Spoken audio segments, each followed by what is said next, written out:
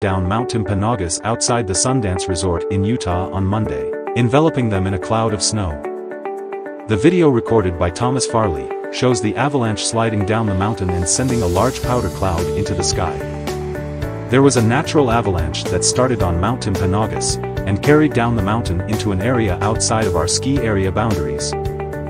Footage shows the dust wind cloud reaching guests who were watching, but no one was hurt as deposition area never reached our boundaries. Farley told that he was skiing with friends when they witnessed the avalanche